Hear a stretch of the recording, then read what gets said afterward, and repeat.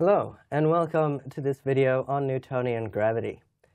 In this video, we're just going to think about what is the proper way to treat this force of attraction between masses that we call gravity. And by the proper way, we mean at least in the context of Newtonian physics. So let's think about gravity. And didn't we already answer this question? Isn't it just that the force is m times g, and g is 9.8? Meters per second squared, seems to me that the question's done. Or is it? Well, let's think about g. Is it fixed? Is it really 9.8 meters per second squared? What can affect it?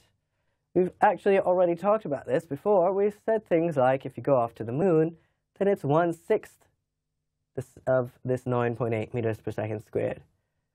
So g can change depending on where you are. And in fact, in various pracs and things, you'll know that there's uncertainties in G which come from variations even around the Earth.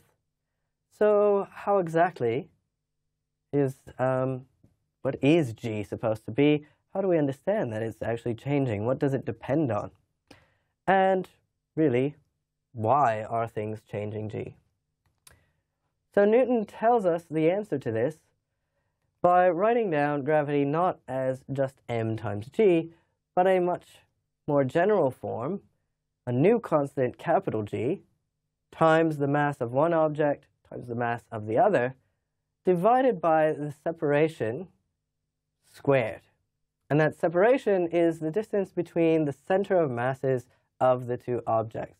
So if we're treating them as point masses, that's where they would be located, and the distance between them then is pretty clear. But if we're now talking about extended objects, we need to specify that the distance is not like surface to surface, but rather center to center. And then, in the context of that new formulation for what the force of attraction between two masses, capital M and little m, um, is, we can rewrite the previous F equals mg to obtain that little g must in fact actually depend on this new constant g, capital G, and the mass of this object that we're experiencing gravity from, and our distance from its center squared. So Newtonian gravity basically comes about with a way of determining g. Now it's become clear, since it depends on the mass of both objects, if I jump to a different planet, well then I've changed capital M in that previous equation. Clearly the force of gravity has to change, and now I can see anytime m is bigger than the mass of the Earth, I will have a larger g. If m is smaller, then I'll get a smaller g. But there's, of course, a caveat, which is also that it depends on the separation.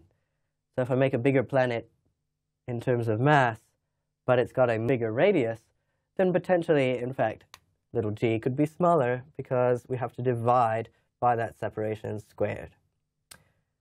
So Newton has just quantified for us what's going on with little g.